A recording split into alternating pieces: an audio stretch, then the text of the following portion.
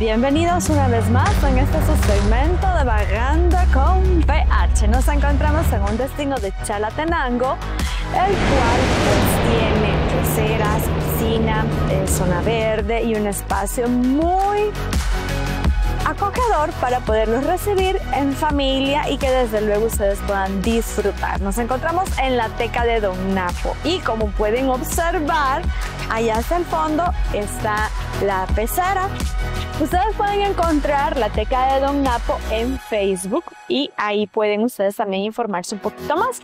Y vamos a conocer más de lo que tiene este destino. Desde luego, siempre, por favor, que vean esos videos, quédense pendientes del dato importante y del dato curioso. Así es que vamos a conocer más de lo que hay en este lugar.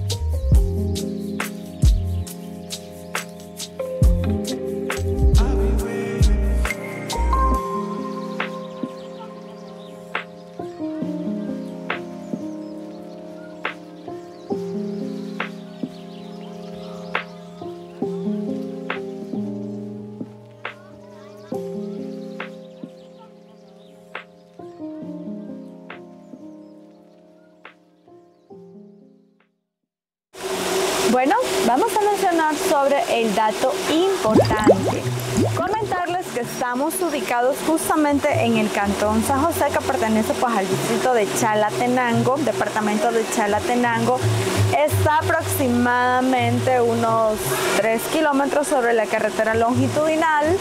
El acceso está muy, muy en el sentido que ustedes no se pueden perder, inclusive la gente les indica cómo llegar y desde luego por sobre la carretera longitudinal ustedes se pueden ubicar y orientar. Es importante apoyar de hecho pues también a todos los que tienen estos tipos de emprendimientos y bueno, continuamos en este vagando y luego vamos a mencionar el dato curioso.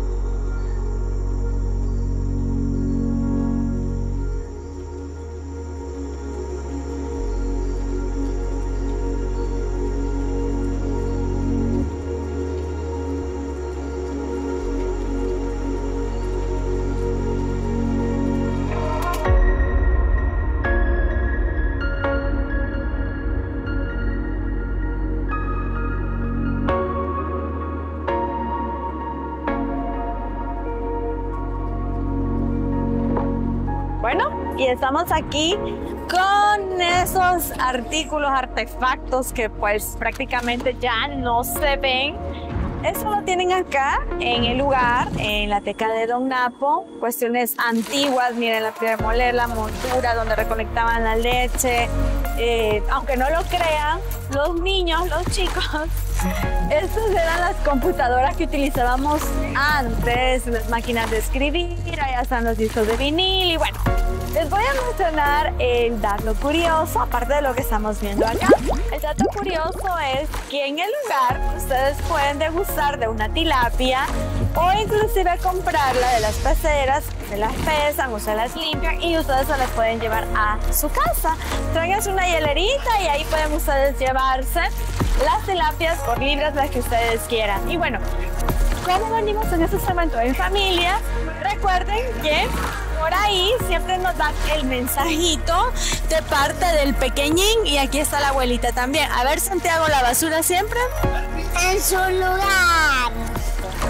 Y a ver, niña, a ver si cuéntanos qué tal este lugar. ¿Le parece? ¿Está muy bonito? Muy bonito, mucha frescura se siente, pero ahorita hay mucho calor. ¿Lo recomienda el lugar? Sí. Sí, a todos chalatecos que vengan aquí a este lugar muy bonito. Y también la recomendación va para todos aquellos que nos ven en el exterior, que visiten siempre. Recuerde, El Salvador es una tierra de anfitriones, así es que se cuidan mucho y suscríbanse, compártanlo y nos vemos en el próximo segmento y saludos.